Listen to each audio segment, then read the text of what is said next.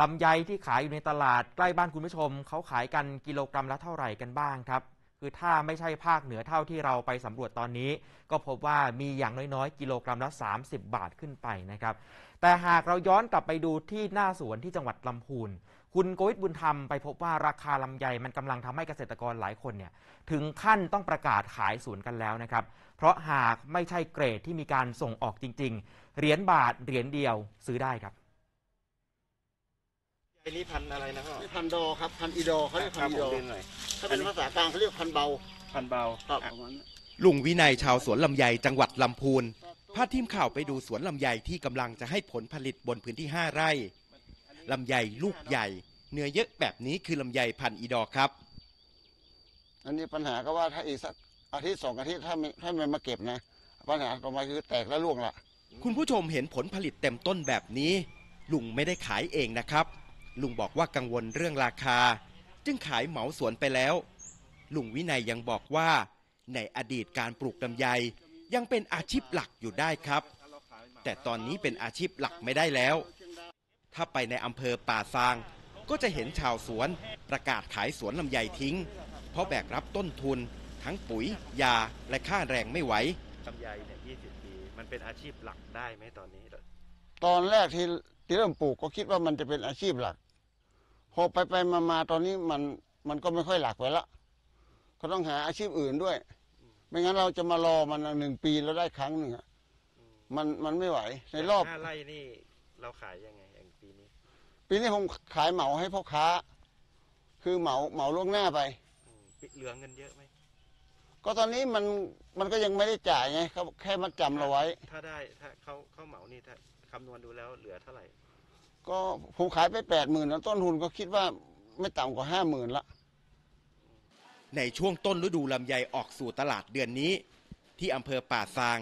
มีหลงลำไยทั้งของจีนและไทย ส่งไปขายตลาดใหญ่คือประเทศจีนครับ และร้านรับซื้อเล็กๆ กระจายไปตามหมู่บ้านต่างๆ ก็เปิดจุดรับซื้อในช่วงนี้ แต่พอเห็นราคาแล้วใจหายเหมือนกันนะครับ ช่วงนี้คือว่าถูกเลยทุกปีธรรมดานี่นี่ก็ประมาณเป็นสิบเจ็ดสิบแปดคนละกันตัวสองเอนะ แต่ว่าปีนี้นี่ราคาถูกลำไยรูดร่วงที่กำลังเห็นคุณยายคนงานกำลังรูดออกจากก้าน จะนำไปอบเป็นลำไยอบแห้งครับสหกรการเกษตรสันป่าตอง ถือเป็นตลาดรับซื้อแหล่งใหญ่ แต่จะรับซื้อเฉพาะสมาชิกสหกรณ์เท่านั้นนะครับ ผู้จัดการสหกรณ์บอกว่าลำไยอบแห้งมีปัญหาการขาย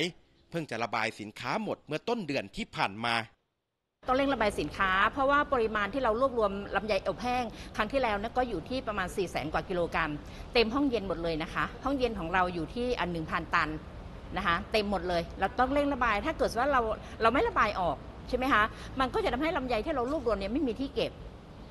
นะคะ ต้องเร่งระบายเรายอมขาดทุนในจุดนี้ แต่สมาชิกเกษตรกรไม่ได้ขาดทุนนะคะ เพราะว่าตอนซื้อลำไยสดเนี่ยเราให้ราคาที่เต็มที่สมาชิกพึงพอใจสำหรับผลผลิตลำไย 8 จังหวัดภาคเหนือตอนบน ปีนี้คาดว่าจะมีผลผลิตประมาณ 1 ล้านตันครับ เพิ่มขึ้นจากปีที่แล้ว 130,000 ตัน หรือคิดเป็นร้อยละ 14 ปัญหาราคาลำไยตกต่ำตั้งแต่ต้นฤดู และผลผลิตมากกว่าปีที่ผ่านมา จึงเป็นสิ่งที่เกษตรกรกังวล ว่าปีนี้ลำไยอาจล้นตลาด โกวิทบุญธรรม ไทย PBS รายงาน คือปัจจัยหนึ่งเป็นปัจจัยหลักที่อาจจะทำให้ราคาลำไยตกต่ำก็คือปริมาณผลผลิตมหาศาลนะครับ ในแต่ละปีทั่วประเทศมีพื้นที่ปลูกลำไยกว่า 1 ล้านไร่นะครับ ให้ผลผลิตมากถึง1ล้าน1หมื่นตัน อันนี้ตัวเลขโดยประมาณครับ ถ้าไปดูเฉพาะ 8 จังหวัดในพื้นที่ภาคเหนือนะครับ ปีที่แล้วผลผลิตเนี่ยสูงถึง 9 4 0 0 0 0 ตันไปแล้วนะครับ ส่วนปีนี้สูงกว่าเดิมไปแตะล้านแล้วครับ อยู่ที่กว่า 1 ล้าน 70,000 ตัน เพิ่มขึ้นมากถึงร้อยละ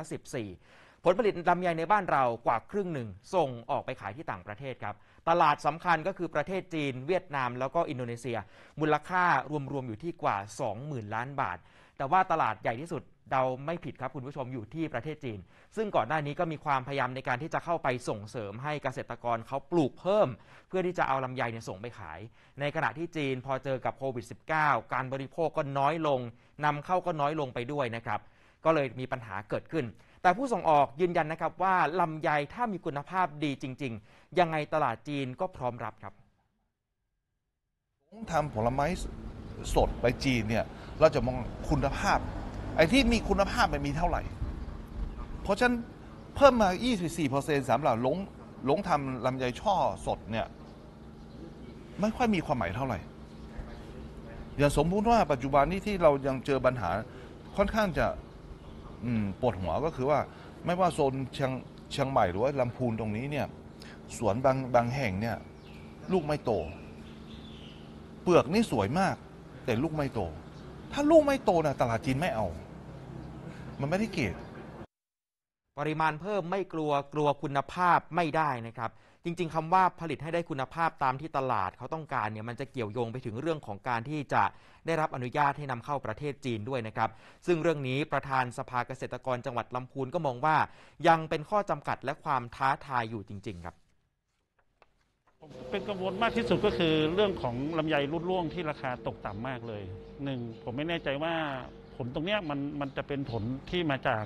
อ่ามามาตรการระเบียบของ 248 หรือเปล่านะครับที่เขาจะต้องให้ให้ผู้ผู้ประกอบการเนี่ยในการแปลรูปเนี่ยต้องขึ้นทะเบียนที่จีน แล้วก็ต้องได้รับรองมาตรฐานจากของประเทศไทย ในการที่จะทำเรื่องของคุณภาพในการที่ตรวจเรื่องของสารตกค้างต่าง ๆ